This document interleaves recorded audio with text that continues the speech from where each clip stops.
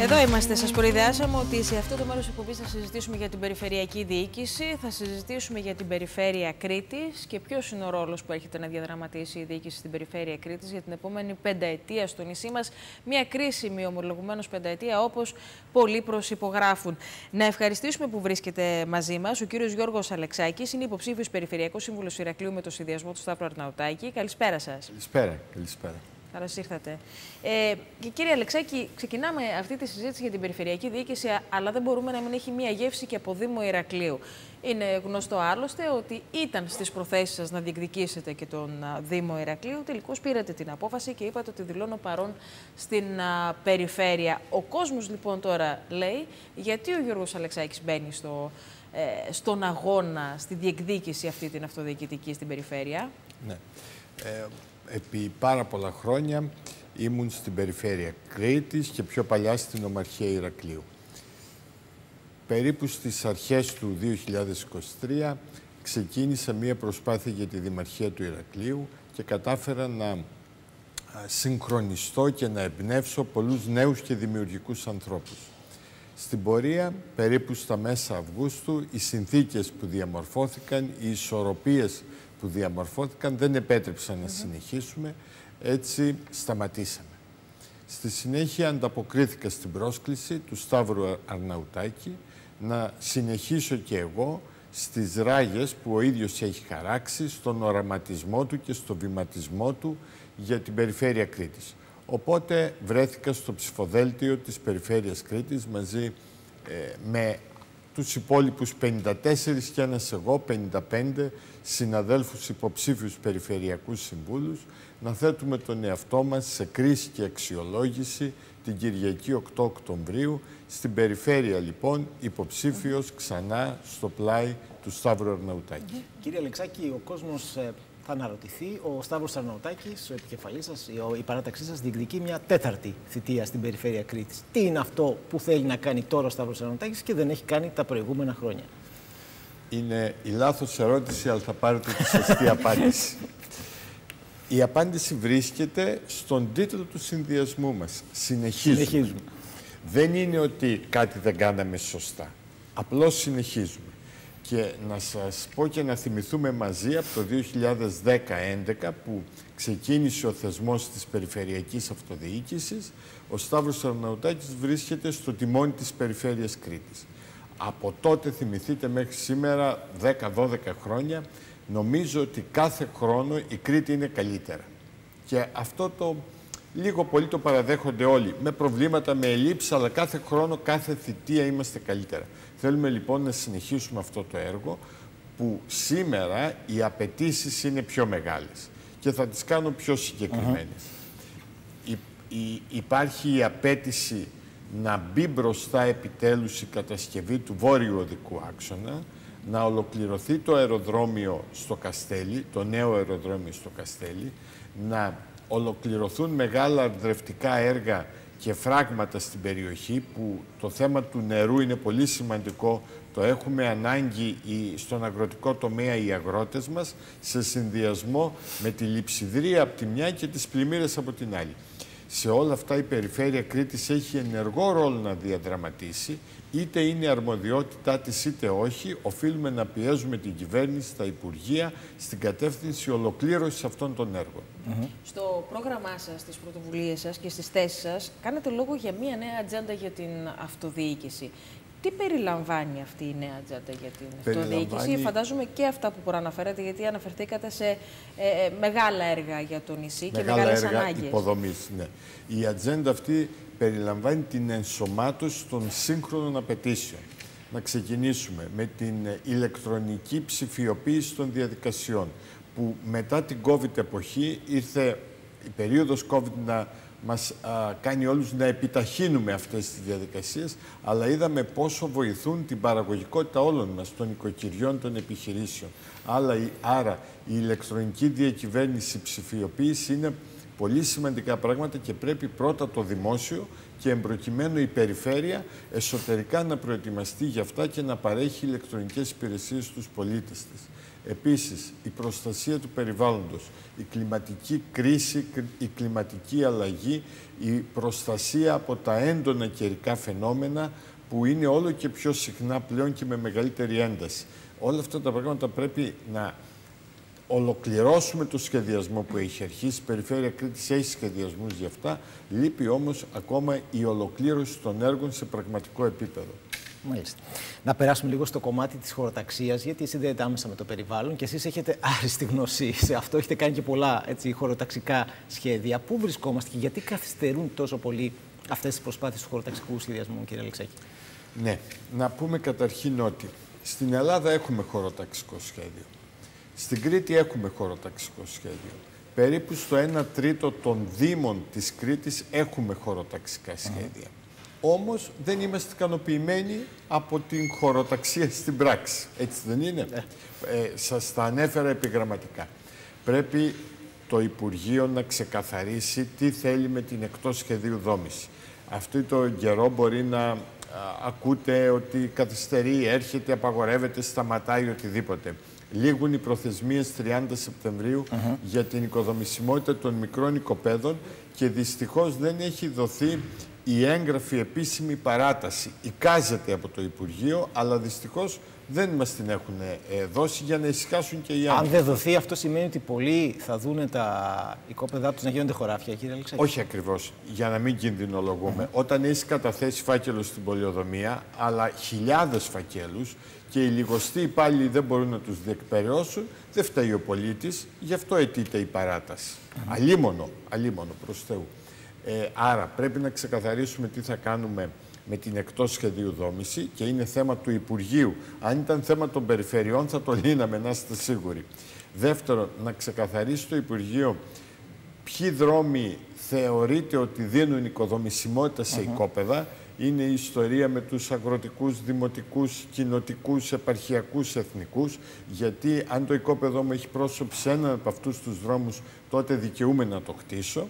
Είναι κάτι πολύ σύνθετο και πολύ κρίσιμο όμως, ε, όταν ξεκαθαρίσουν αυτά τα θέματα στην Ελλάδα γενικώς μιλώντας, τότε ναι θα μπορούμε να ξέρουμε σταθερά τους κανόνες του παιχνιδιού. Εσείς κύριε Λεξά έχετε ασχοληθεί πάρα πολύ ενεργά και με τους ε, πολύπαθους, θα έλεγα, οικοδομικούς συνεταιρισμούς, οι οποίοι ήταν ε, στα σχέδια, ξεκίνησαν μάλλον πριν από 30 χρόνια, αν δεν κάνω λάθος, σχεδόν, και Κάποιοι είναι κολλημένοι, κάποιοι ξεμπλοκάρουν τώρα τα τελευταία χρόνια. Θα δούμε να χτίζονται, θα δούμε οικοδόμηση με ό,τι αυτό συνεπάγεται βεβαίως και για την τοπική οικονομία στους ναι. οικοδομικούς συνεταιρισμούς. Ε, θα ήθελα να σας πω τώρα και μου δίνετε μια ευκαιρία να πω ότι η περισσότερη, η μεγάλη πλειοψηφία των οικοδομικών συνεταιρισμών έχει πάει και ένα βήμα μπρος και δύο και τρία.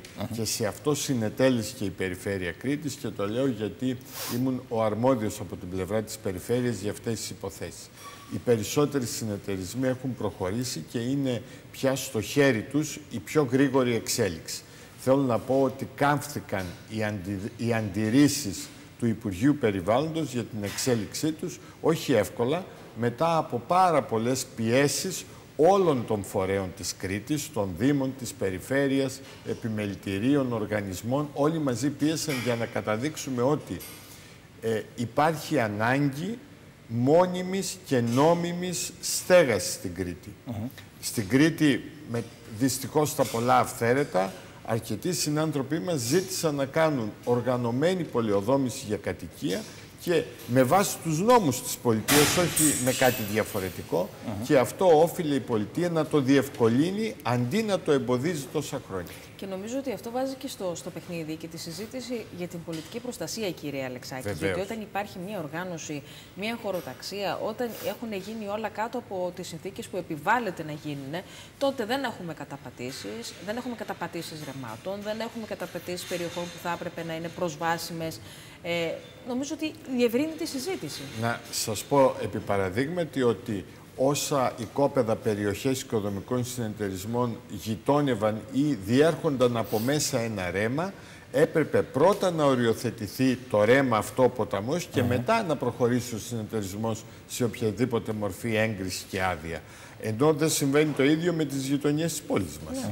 Αυτό, αυτό από μόνο του είναι ένα πρώτο θετικό για την προστασία της φύσης γενικά μιλώντας έτσι, και του περιβάλλοντος όπως και η προστασία αρχαιοτήτων, ρεμάτων, ε, ε, περιοχών με ειδικά μορφολογικά χαρακτηριστικά. Όλα αυτά είναι σεβαστά όταν κάνεις σχέδιο πόλης και οργανωμένη πολεοδόμηση. Να σας πάω λίγο και στο Αρκαλοχώρι, γιατί είναι και ένας τόπος αναφοράς για σας. Και καταγωγής μου. Και καταγωγής, ναι, γι' αυτό το λέω. Και ε... είμαι και σεισμόπληκτος.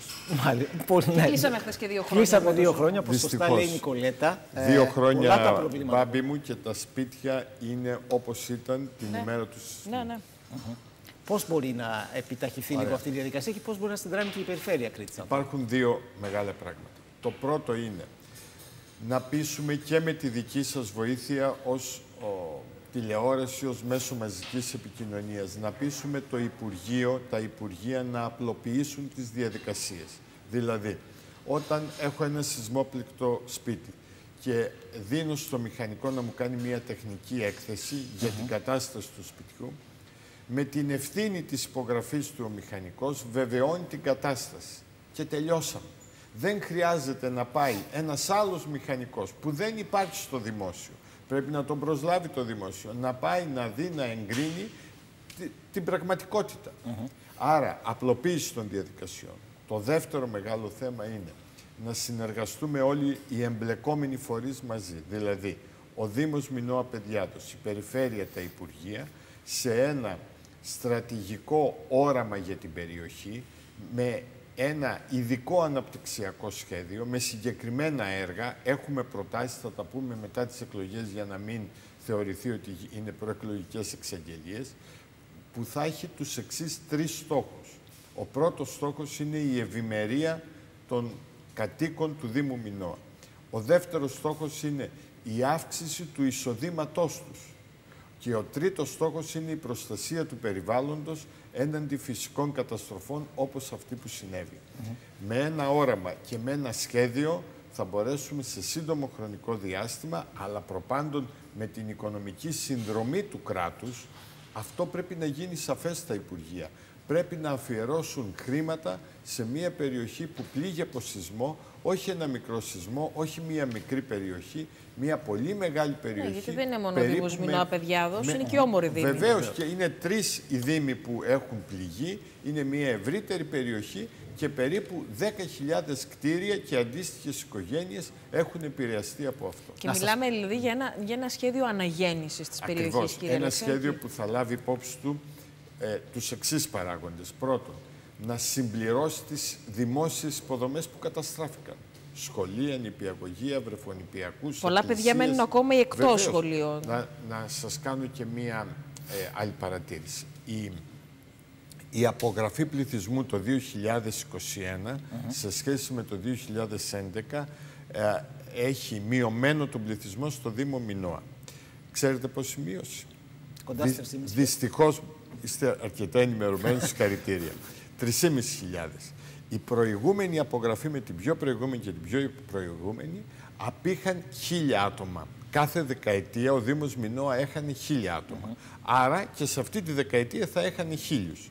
Έχασε 3.500. Άρα οι 2.500 έφυγαν εξαιτίας του σεισμού. Και μια περιοχή που ήταν πρώτος, έτσι. Ο πρώτος στόχος είναι αυτοί οι συνδημότες και συμπολίτες να επιστρέψουν στο Αρκαλοχώρι και στις γύρωθεν περιοχές και να δούμε πώς θα αξιοποιήσουμε και την ε, μεγάλη ευκαιρία του νέου αεροδρομίου στο Καστέλι που δημιουργεί νέες θέσεις εργασίας και είναι ένας αναπτυξιακός παράγον για την περιοχή. Άρα, σεισμός, αεροδρόμιο, είναι τα δύο μεγάλα χαρακτηριστικά για αυτή την περιοχή που πρέπει να τα συνδυάσουμε σε αναπτυξιακή πορεία. Να σας πάμε τώρα λίγο πιο μακριά στις Βρυξέλλες, γιατί είχα το χαρτοφυλάκιο αντιπεριφερειάρχης ευρωπαϊκών θεμάτων. Εγώ θέλω να ρωτήσω, ε, ο διάβλος με τις Βρυξέλλες, με την Ευρωπαϊκή Ένωση, είναι σε ικανοποιητικό επίπεδο για την περιφέρεια Κρήτης; Υπάρχει η αλίευση χρηματοδοτήσεων που επιθυμούμε και γενικώς οι ανοιχτές πόρτες ε, που θέλουμε. Και αν επιτυχάνετε, κύριε Αλεξάκη, να συμπληρώσω το ερώτημα και του, του Μπάμπη και αυτό το οποίο, στο οποίο είσαστε υπέρμαχος για την εξωστρέφεια λοιπόν mm ακριβώς με το βλέμμα στην Κρήτη όμως. Ε, ευχαριστώ πάρα πολύ. Η Κρήτη στην Ευρώπη, η Ευρώπη στην Κρήτη. Αυτό είναι το σύνθημά μας. Η Κρήτη στην Ευρώπη, η Ευρώπη στην Κρήτη. Εάν με μια περιφέρεια όπως η Κρήτη είναι πρώτη στην Ελλάδα στα ευρωπαϊκά ανταγωνιστικά έργα, μετράμε περισσότερα από 60. έχουμε χάσει το λογαριασμό, είμαι στο 63-64. Και μία από τις ε, μεγαλύτερες περιφέρειες στην Μεσόγειο ε, σε ε, αξιοποίηση ευρωπαϊκών πόρων δεν είμαστε ικανοποιημένοι, υπάρχουν και άλλα περιθώρια. Και να σας πω τώρα και κάτι που θα το πω πρώτη φορά δημόσια σε τηλεόραση. Σε λίγο καιρό, σε ένα μικρό χρονικό διάστημα, πρώτη φορά στην Κρήτη θα έχουμε παραγωγή πράσινου υδρογόνου. Μέσα από την κοιλάδα υδρογόνου που θα δημιουργηθεί στην Κρήτη, εγκρίθηκαν 8.000 υδρογόνου στην Ευρωπαϊκή Ένωση, δύο εξ αυτών στην Ελλάδα, η μία στην Κρήτη, σε ένα ευρωπαϊκό έργο με κύριο εταίρο, σημαντικό εταίρο την περιφέρεια Κρήτης. Αυτό και αν είναι πρόοδος, αυτό και αν είναι εξέλιξη, ανταγωνιστικότητα, πραγματικά όταν λέμε ότι πιστεύουμε στα εναλλακτικά καύσιμα ε, για να αντιμετωπίσουμε την κλιματική αλλαγή, το κάνουμε πράξη με συγκεκριμένα έργα και έχουμε την περιφέρεια Κρήτης να πρωταγωνιστεί και σε αυτά τα εξειδικευμένα ευρωπαϊκά προγράμματα. Να σας ευχαριστήσουμε θερμά που ήσασταν μαζί μας, κύριε Αλεξάκη. Καλή δύναμη, καλή επιτυχία στον αγώνα σας. Και εγώ σας ευχαριστώ πολύ με την ευχή ε, την Κυριακή που οι συμπολίτες μας θα πάνε να ψηφίσουν στην κάλπη, να σκεφτούν, να αξιολογήσουν, να επιλέξουν το συνδυασμό που τους ταιριάζει περισσότερο στις περιφερειακές εκλογές και να αξιολογήσουν τους συμβούλους που θα βάλουν το σήμα του Σταυρού στο ψηφοδέλτιο. Έτσι. Να γίνεται αξιολόγηση. Καλά το λέτε. Σας ευχαριστούμε και θερμά. Εγώ σας ευχαριστώ καλή δύναμη, καλή επιτυχία. Ευχαριστούμε.